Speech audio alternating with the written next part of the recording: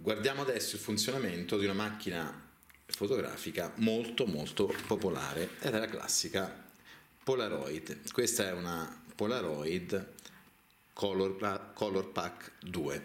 Vediamo subito il funzionamento. Vedete, io già l'ho aperta.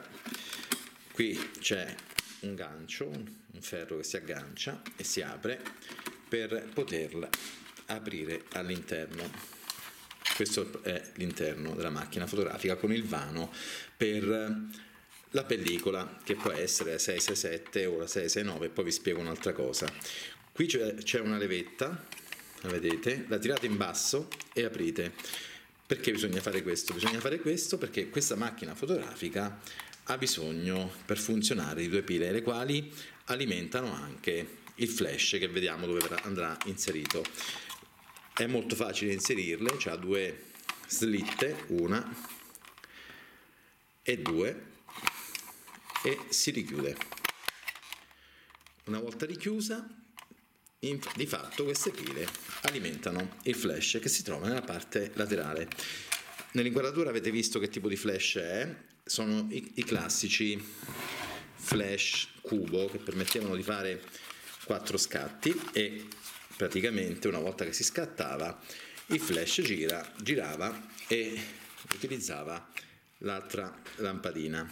Vedete? Ha quattro lampadine sui quattro, sui quattro lati. E quindi le pile servono ad alimentare il flash che va inserito lateralmente. Sopra vedete a 75 e 3000 che cosa vuol dire qui 75 o 3000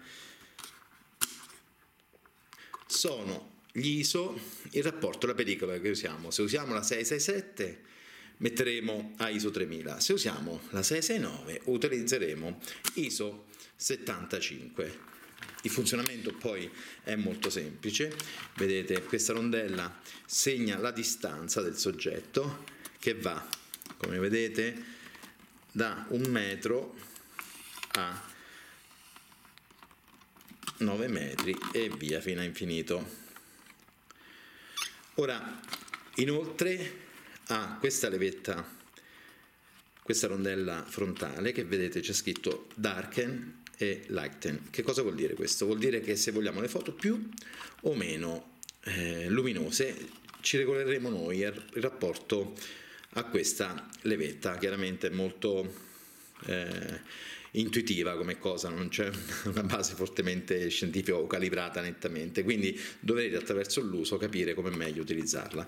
E infine, infine abbiamo il tasto, avete sentito sta scattando, il tasto questo qui eh, con, che è segnato con un tondino rosso, se noi lo giriamo lateralmente si blocca, serviva per evitare di sprecare degli scatti.